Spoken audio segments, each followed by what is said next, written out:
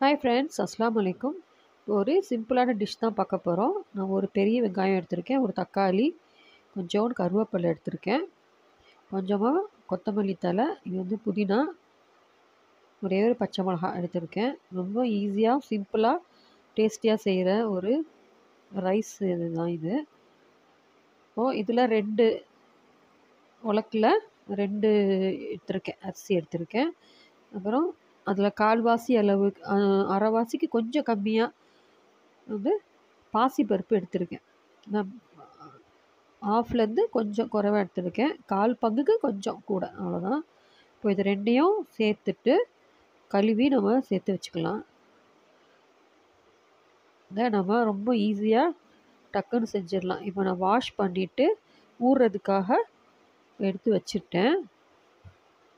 இப்போ இந்த வெங்காயம் தக்காளியெல்லாம் கட் பண்ணி எடுத்துக்கிறோம்.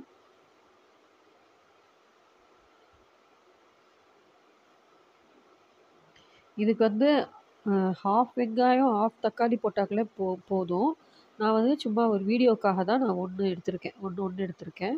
எவ்வளோ கம்மியாக போட்டாலுமே அந்த பருப்போட டேஸ்ட்னால நல்லாயிருக்கும் இவ்வளோ கட் பண்ணி எடுத்தாச்சு. வெங்காய தக்காளி இப்போ தாளிப்புக்கு ஒரு ப கொஞ்சம் பட்டை ஒரு பட்டை ஒரு ஏலக்காய் ரெண்டு கிராம்பு எடுத்திருக்கேன். ஒரு ரெண்டு இன்ச் அளவுக்கு பட்டை எடுத்திருக்கேன். இப்போது அதுக்கு தேவையான அளவு இஞ்சி பூண்டு எடுத்து இந்த பிளேட்டில் வைக்க போகிறேன் இந்த ஸ்பூனில் ஒரு ஸ்பூன் ஒன்றரை ஸ்பூன் அளவுக்கு நான் வந்து இஞ்சி பூண்டு எடுத்துக்கிறேன். ரெண்டு வாட்டி எடுத்தாலும் அது ஹாஃப் டீஸ்பூன் தான் வரும். ஒன்றரை ஸ்பூ ஒன்றரை ஸ்பூன் எடுத்திருக்கேன். இப்போ அரிசியை ஊறிக்கிட்டு இருக்கு அரிசி ஊற வச்சதுனால ஒரு குக்கர் எடுத்து ஹீட் பண்ணியாச்சு. இப்போ அதுக்கு கொஞ்சம் தேவையான அளவு எண்ணெய் ஊற்றிக்கலாம் எண்ணெய் வந்து ஒரு ரெண்டு டேபிள் ஸ்பூன் அளவுக்கு நான் ஊற்றிக்கிறேன் இன்னும் கொஞ்சமாக நெய் சேர்த்துக்கிறேன். இந்த ஸ்பூனில் ஒன்றரை ஸ்பூன் அளவுக்கு நான் நெய் சேர்த்துக்கிறேன் இப்போ எண்ணெய் நல்லா சூடாயிடுச்சு.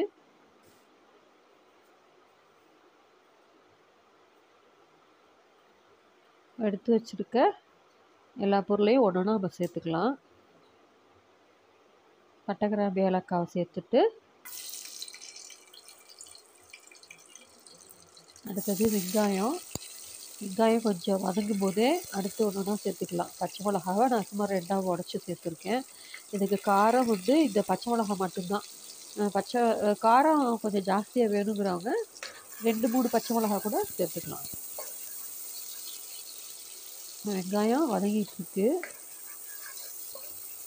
இப்போது நைட்டில் வந்து சட்டுன்னு ஒரு சாப்பாடு வேணும். மாவு இல்லை என்ன செய்கிறது அப்படின்னா இந்த மாதிரி ஒரு ரைஸ் செஞ்சுட்டு ஒரு ஊறுகாய் எந்த ஊறுகாய் வச்சு கூட சாப்பிட்டுக்கலாம். இந்த மெயின் டிஷ்ஷாக மத்தியானம் லஞ்சுக்கு செய்கிறாந்தா இதுக்கு வந்து ஒரு மட்டன் கிரேவி சிக்கன் கிரேவி இந்த மாதிரி ஏதாவது ஒன்று செஞ்சு வச்சுக்கலாம். முட்டை கிரேவி அது கூட சைட் டிஷ்ஷாக யூஸ் பண்ணிக்கலாம். புதினா துவையல் ஊறுகாய் இதெல்லாம் வச்சு இது குழம்பு தேவையே இல்லை. சும்மா இந்த ரைஸை இந்த மாதிரி சைட் டிஷ் வச்சு சாப்பிட்டாலே ரொம்ப சூப்பராக இருக்கும். இப்போ அடுத்தது இஞ்சி பூண்டை சேர்த்துட்டு நம்ம வெட்டி வச்சுருக்க தக்காளியும் அதில் சேர்த்தாச்சு. இப்போ எல்லாம் கொஞ்சம் வதங்குற அளவுக்கு தேவையான அளவு உப்பை இப்போயே சேர்த்துடலாம். அப்போ தான் எல்லாம் கொஞ்சம் ஈவனாக வதங்கி வரும். அதுக்காக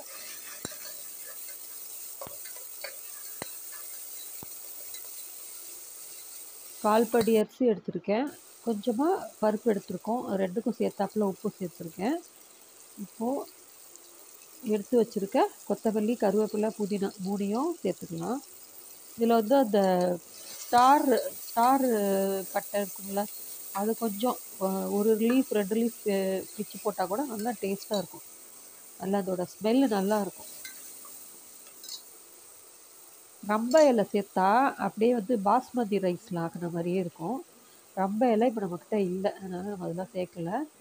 இப்போது இந்த ரைஸுக்கு ரெண்டு பங்கு இந்த எவ்வளோ அரிசி இருக்கோ ஏற்கனவே வீடியோஸில் சொல்லியிருக்கேன். நம்ம எவ்வளோ அரிசி எடுத்திருக்கோமோ அதே அளவுக்கு ரெண்டு பங்கு ஊற்றிட்டா போதும். அது பிரியாணிக்கு செட் ஆகும். இந்த ரைஸ் வந்து கொஞ்சம் நல்லா வெந்தால் தான் நல்லாயிருக்கும் அதனால் நான் என்ன பண்ணேன் அந்த எடுத்த தண்ணியை கொஞ்சம் ஜாஸ்தியாக எடுத்துக்கிட்டேன். நம்ம ஒரு ரெண்டு பங்கு எடுக்கணும்னு சொன்னேன் இல்லையா? அதையே கொஞ்சம் கூட கூட எடுத்துக்கணும். அப்படி இல்லாட்டி இன்னும் ஒரு ஒரு கிளாஸ் அரை கிளாஸ் தண்ணி எக்ஸ்ட்ரா ஊற்றிக்கலாம் நமக்கு தேவையான அளவுக்கு தான்.